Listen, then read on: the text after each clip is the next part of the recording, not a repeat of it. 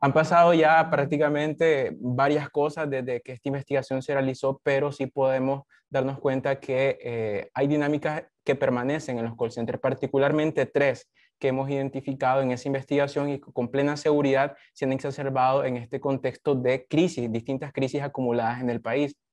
La primera es que el call center eh,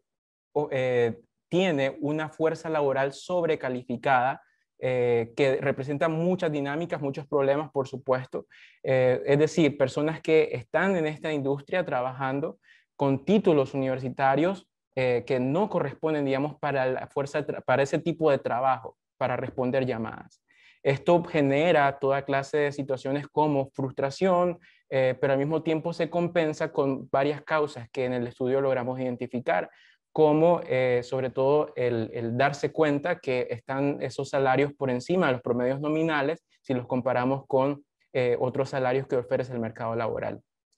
y ante la situación de agravado desempleo que tiene el país. Entonces, esa problemática se observa. La segunda, que demuestra con mucha claridad el tema de los call centers, es la situación de la, educación técnica en el país. Y creo que eso es una de las cuestiones que eh, debemos prestarle mucha atención desde la perspectiva de políticas públicas como sociedad civil y también, digamos, como eh, personas, como trabajadores de alguna u otra forma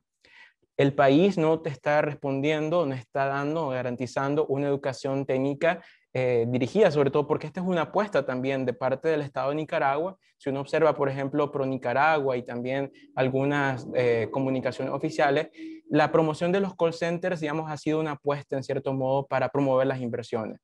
Pero eso debe ir acompañado de una eh, inversión adecuada en educación técnica, pero de forma particular en la enseñanza del inglés, que en el país es muy deficiente. Entonces se tiene que promover ese tipo de inversiones de forma eh, muy activa a la par, digamos, de, ofrecer estas alternativas. Y la tercera, que ya corresponde más a la situación interna de los call centers, eh, las dinámicas que surgen de forma particular en los conflictos, los horarios que a veces son declarados por parte de los trabajadores como muy quebrados y que genera dinámicas de bastante conflictividad entre los trabajadores.